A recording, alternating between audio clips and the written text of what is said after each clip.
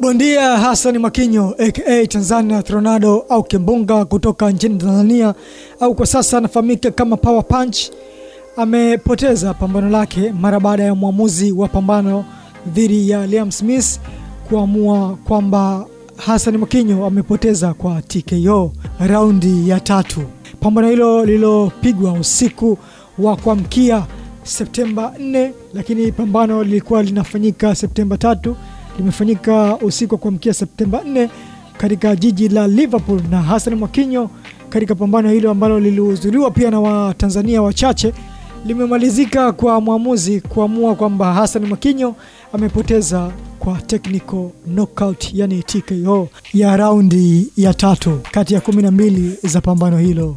Lakini awali Hassan Mwakinyo katika pambano hilo alionekana kuteleza na kutokana na kiatu ambacho alikuwa amevaa, na kwa mujibu wa vyanzo ambavyo vipo ni kwamba Mwakinyo alipoteza begi lake la viatu na nguo airport, lakini akaenda katika mchezo huo akiwa ana viatu vingine ambavyo alipewa, lakini kwa bahati mbaya sasa imetokea viatu hivyo vilikuwa vinamchuna na akatokea kuteleza, na ikapelekea Hassan Mwakinyo kuteleza mara ya kwanza, lakini mara nyingine ikaonekana ameshindwa kuvumilia yale maumivu aliyopo katika mguu na hivyo akainama chini, lakini ndio hivyo mwamuzi akaamua bondia Liam Smith awe ndio mshindi wa pambano hilo kwa technical knockout.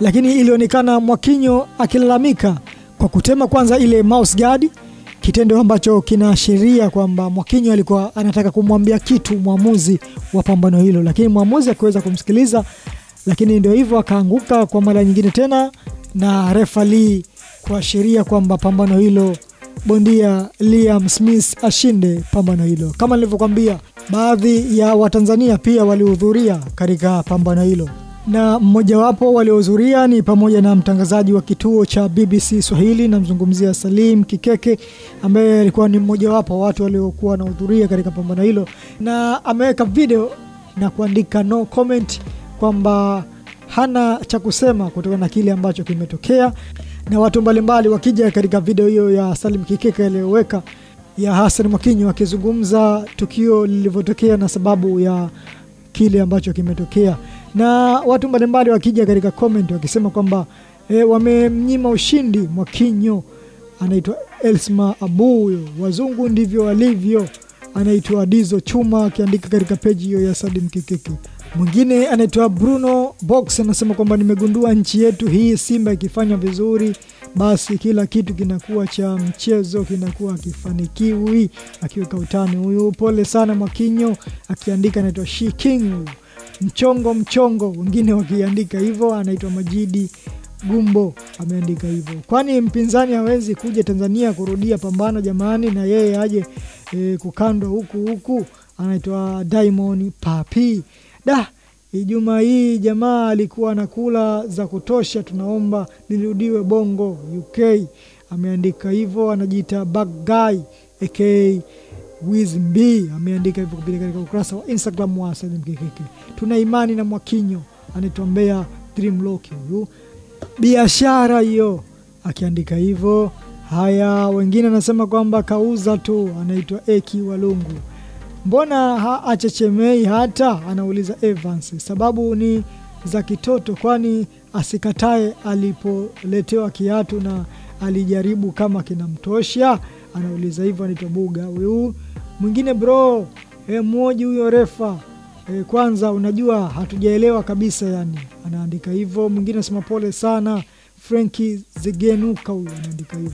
Mbona anajitetea sana Taifa Stars wa pili huyu anaandika hivyo. Anaitwa nani? Anaitwa Zabro, ameandika hivyo kupitia katika ukurasa wa Instagram wa Salim Kikeke. Mwingine anasema kwamba anaitwa hamfrey Mgonja, eti watu anasema kauza mchezo, akiweka na alama za kucheka hapa. Thagquio yeye anasema kwamba shida imeanza kwenye kiatu, akiandika hivyo. Kazidiwa maarifa ndugu yetu anaitwa Yaya Haridi ametukosea. Anaitwa Jabrilon huyu, he still is the best, he ni kiasi cha muda. Anaitwa Bruno Peter Mkwabi huyu, kesha chezea Michael Minja TZ ameandika hivyo. vipi tunalala Liverpool au tunageuka usiku huu? Anaitwa ofu official mata, ameogopa kudhalilika. Tatizo wengi jinga, wakati kulikuwa na position ya kuwin hii gemu isije kuwa katanguliza njaa kuvuta mkwa, kuvuta mpunga. Anaitwa Buga huyu. Sheria za ngumi za kipuuzi sana, anaitwa Gindo Mtoka huyu.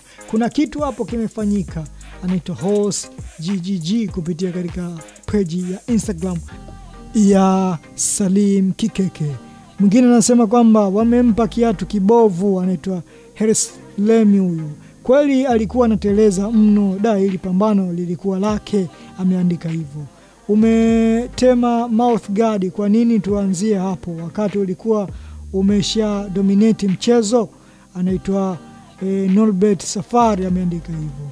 Mengi Hasani, kivipi huku hatujaelewa nini shida? Anauliza hivyo. Mwingine akiandika tuna imani na Mwakinyo sana katika Afrika na dunia, anaweza sana. Anaitwa George Moro huyu. Kwani nini kimetokea?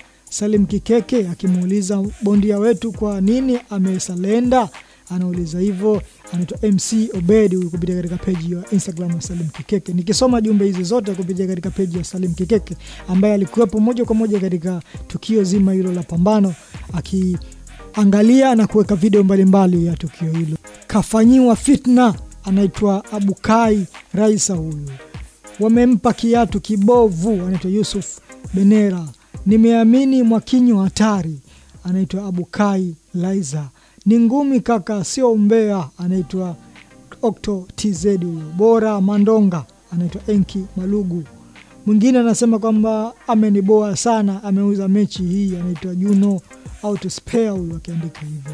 Na mwingine anaitwa Jabirian, yeye anasema aache undezi, alitakiwa aseme toka mwanzo alipoona buti limeingia na dosari.